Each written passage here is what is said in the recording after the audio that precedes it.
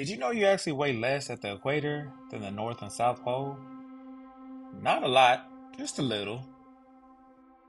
But it's 100% real. Why?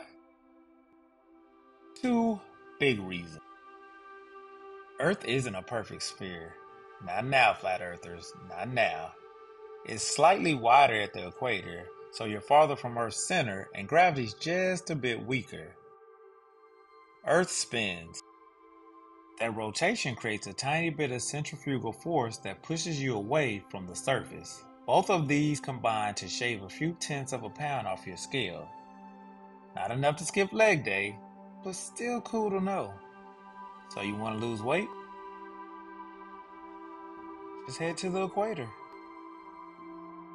The more you know, the more you grow.